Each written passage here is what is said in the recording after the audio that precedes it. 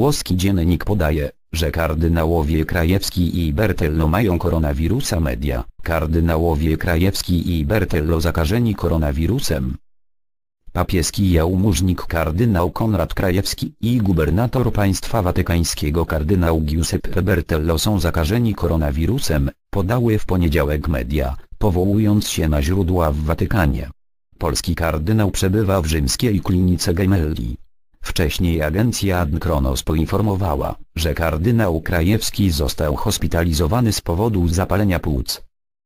Według informacji uzyskanych przez dziennikarzy, u papieskiego jałmużnika stwierdzono w przychodni w Watykanie zakażeni koronawirusem. Watykan ustala, z kim polski kardynał miał w tych dniach kontakt, przede wszystkim, kiedy ostatnio widział się z papieżem Franciszkiem. Zakażony koronawirusem, także według mediów, jest też kardynał Giuseppe Bertello.